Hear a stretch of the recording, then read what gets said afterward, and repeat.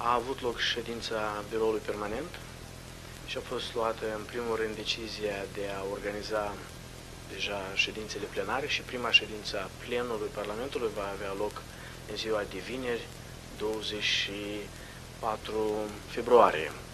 Este o ordine de zi de început, uh, cu mai multe chestiuni organizatorice, dar și cu un element foarte important legat de prioritățile Parlamentului pentru anul 2017. Din câteva aduceți aminte, Deja în discuții cu conducerea guvernului a fost stabilit un plan de acțiuni pentru anul 2017 ce ține de implementarea acordului de asociere cu Uniunea Europeană.